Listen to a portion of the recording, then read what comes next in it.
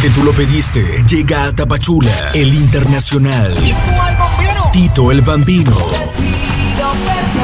Este viernes 10 de diciembre, 10 de la noche, Estadio Olímpico de Tapachula. El patrón. El patrón. El patrón número uno del reggaetón.